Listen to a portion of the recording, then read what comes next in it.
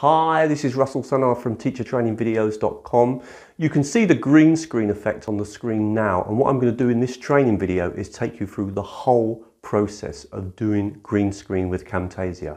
First, we're going to look at the setup for the actual filming of the video and I'll show you how I set the green screen and the lighting up.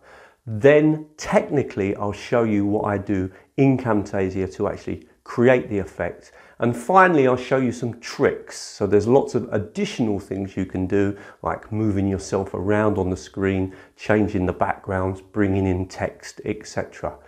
As always, really hope you like the video. Please, if you do, please like it, please share it with other people, and please comment on it. What do you think of Camtasia's green screen? Is it something you're thinking of doing? Right, let's get started.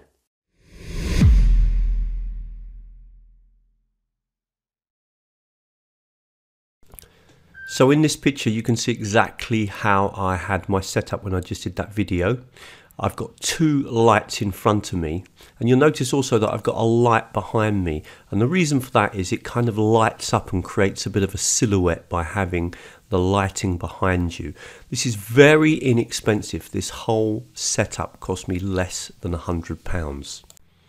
The important thing to remember is that you want to make sure the green screen is evenly lit up. You don't want to have any shadows behind it. And that's the reason why I put the lights to the side. And that's also the reason why sometimes it's really good to put a light behind you. It lights you up a little bit more from behind, but it also lights up the green screen and makes sure that any shadow disappears.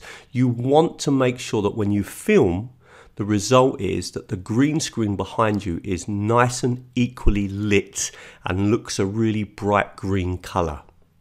Okay, so we've seen how the camera should be set up or the lighting should be set up, the position of the green screen. Now let's look at what you need to do technically in Camtasia to make it all work. As far as the camera is concerned, I just used my smartphone. It's a fairly new one, but I mean, most cameras in the last three or four years in the smartphone would be adequate for doing green screen. And another thing is to remember that the green screen, though this video I'm using Camtasia 2021, this is exactly the same with Camtasia 2018, 2019, 2020. It's exactly the same. It hasn't changed the system. I'm just going to bring a video onto the screen just to show you then what the out outcome was in terms of the filming and you'll notice that this is you know all very very similar color and that's the important thing to try to get the green screen nicely lit and not to have too much shadow. There's a slight shadow but that's that's going to be absolutely fine. Now if you don't know Camtasia I'm going to put on the screen now a video about how to use Camtasia 2021 you might find that useful and you can click on it now um, what I'm going to do now is take you through the process of using Camtasia to create the background effect. So here I've got the recordings that I've just made. I'm just going to bring one onto the screen. So just drag it onto the timeline. Now you can see it. You can see here there's a bit of film that's outside of the green screen. Very simple. Just click on crop and delete that. Just bring that in. Just crop that, not delete it, sorry, crop it. And then the other thing that you need to do is click on this button and resize it. So now we're kind of ready. And the last thing we need to do is come down to here. And the one that we want, the button that we want is the visual effects. Come down to remove color and drag that on and then choose the color that you want to remove. So choose the eyedropper or the color picker and then just click it onto the screen and say, I want to remove this color green.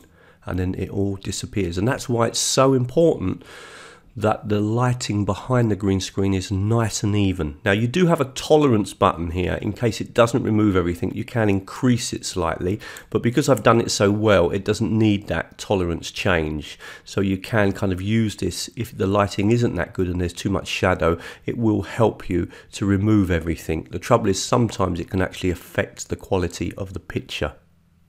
Now the one thing we need to do is bring in a background. Now I have a lot of backgrounds, but you can use basically anything. It could be a static image or it could be a picture. It doesn't really matter. You do want it to be a fairly big image. You really want it to cover the whole of the background. I'm going to import in um, some background videos that I've got. So I'm going to come down to my pictures and I've got something, a section here called motion graphics. And these are just videos. Some of them, and I'll just add one onto the screen. So we'll use this one here. I'm just going to click on open. This was the one that I used in the video today. Now, obviously, the thing that you need to do is to add that video behind the first video.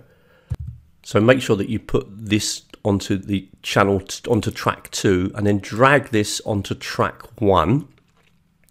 Okay, now in this case, the video is not long enough, so I'm going to need to drag another copy of it on and another copy of it on. And now, instantly, you can see that we've got myself on the screen and we've got a nice background. Now what I'm going to do is I'm actually going to move myself over to this side. This is one of the things that you can do and I'm going to resize myself. And now if we play that, you'll start to see how the green screen works. Hi, this is Russell Stannard from teachertrainingvideos.com. You can see the green screen effect on the screen now. Okay, so it's really that simple. What we add as an effect at the back really is up to you. It could be a static image, it could be a video. I like to use video. Um, anything can be added into the background and you just need to think about the position and I particularly like this video because I like the fact that though I'm on the screen on the left hand side there's actually here something to look at as well on the right. Finally, I just want to show you some tricks that you can do with your green screen. So you can bring text onto the screen, you can move yourself around on the screen, you can resize yourself, change the background, etc. So let's just look at some of the additional elements that we can bring in when we make use of green screen. Just a super quick break from the video. If you are interested in doing a course with me in Camtasia, I do run courses. Come over to teachertrainingvideos.com. You'll see uh, a button to click on on the opening page and it will take you to the course about Camtasia. The Camtasia course is a webinar with me of 90 minutes uh, which you are given a recording of afterwards, and then access to a complete video course in using Camtasia. I am actually a recommended TechSmith Camtasia trainer. I've been working with Camtasia since 2005, and there is a video to give you a little bit more information. If you are interested, please add your name to the waiting list, and as soon as a course is going to be run, uh, I will inform you. I will not use your email for anything else other than to inform you about the upcoming Camtasia course. Right, let's get back to the video. So an obvious thing that we need to do in this video is to add a title here at the top and just to show you how I do that let's just move this up so we've got a little bit of a bigger area and then we need to come down here on the left hand side and the one that we need to choose is text and I normally just use a standard one this one here. Now of course we need the text to be across the whole of the video. And of course we need to write in whatever. So let's say for example I'm going to put my name. So I'm going to write Russell Stannard. And then I'll kind of reposition that and drag it to the top of the screen so we can see it nice and clearly. Um, and then I've got lots of choices here on the left hand side in terms of the actual font I might want to use, the size, even the color. Let's say for example that I wanted to change it to another color. I could do that if I wanted to. So I could say for example choose a different color um, and of course I can change the font as well so if I just click for example on that one now okay so that is um, another possibility make sure though of course that you drag that out to cover the whole of the video. And the way I normally work is that I get to the end of the sound then I'll select all three videos and just cut the ends off so everything finishes at exactly the same moment. Very simple to do that. You just cut the ends off and then delete them. So we've got a nice kind of neat video. So that's one effect to really keep in mind adding text on the screen now you'll see a video about manipulating text and it's much more detailed than what I've just showed you there. So if you want to learn more about text, click on the link that's on the screen now. Otherwise, we're going to move on and look at some more features when working with green screen. Now another little trick that some people don't realize is that you can actually move where you are even mid video. All you need to do, for example, is click the video at the point where you want to move and then cut the video at that point so that you've then actually got two videos. Then this video, you can be on this side of the screen and this video you could move yourself. Just click on the image. I'm going to make it smaller as well and put it over to this side. So you can do that. Now one of the reasons you might want to do that is because if you've got some I'll show you what I do in Camtasia to actually create if you're going to perhaps bring some text onto the screen on this side here. So one of the most common things that I do is the annotations and bringing things onto the screen at certain points. Okay so you're going to obviously add some sort of information onto the screen. I really like the an annotations in Camtasia and I like the fact that you can drop these transitions onto them. So if we just make this again a little bit big the other way now, let's actually open it up a little bit. If we come down to behaviors and we just take a behavior um, let's just make sure that we're over that uh, where that text is a minute. Let me just see if I can find it. Oh, I've lost it now. Sorry, one second. Let me just come back to it. There it is, right? So if we drop the behavior onto that text, um, and the one that I like to use is sliding, then so what happens now is that we've got this text. In Camtasia to actually create the effect and find and so you can do that. Now another thing you can do as well is that you're not limited of course to always having the same background all the time. And you might notice that in my videos that I often vary the background what I haven't looked at in this video really is audio because we can actually add the commentary to the video afterwards and manipulate audio. And so on the screen now, if you're interested, is a video about how we can work with audio in Camtasia. But what I'm going to do now is just show you a few more things about the backgrounds and how we can change and manipulate the backgrounds in a green screen video. So we can use that similar technique. We could, for example, just cut the video at that point, okay? And I'm just going to delete those videos. So I need to now think of a new background to add at the back here.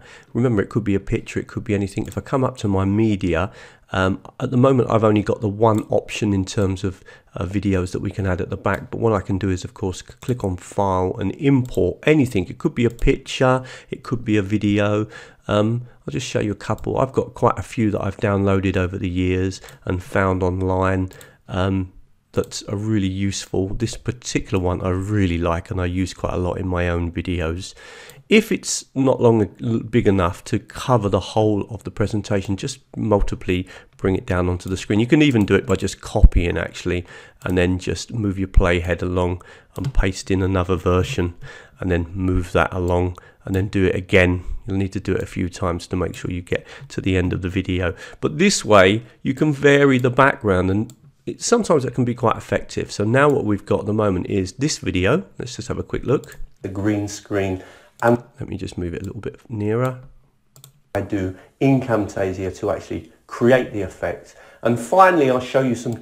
And again, what I would need to do now is to make sure that the text is onto the screen. It's not very clear in that particular color, so I'm likely to need to go back to that text and perhaps change it to white to make sure that it's always clear both through the first background and through the second background as well. Okay, so it just gives you a few ideas. There's many more things you can do. I generally work with text, I work with different backgrounds. I do move myself on the screen occasionally, and I make a lot of use of the annotations and bring those onto the screen to add extra elements onto the screen when I'm doing a presentation. Okay, really hope you liked that video. Please come over to teachertrainingvideos.com if you want more free videos. There's actually a special section on screen capture videos that includes about eight other Camtasia videos. Don't forget if you are interested in doing a course with me, the Camtasia course, you can click on and get the information on the opening page. If you'd like to follow my work, the best thing to do is to sign up to the newsletter. That way you get updated with all the webinars, the blog posts, the online courses, and of course, all the latest videos. You can also subscribe to my YouTube channel. Don't forget to click on the bell if you want to get all the latest updates. And finally, if you did want me to do some training with you or with your organization, uh, perhaps in Camtasia or Moodle or working with Wordwall, online teaching with Zoom, etc., then you can contact me from my webpage and thank you very much. I'm going to leave now some videos on the screen um, all about Camtasia just in case you want to learn a little bit more about what Camtasia can do.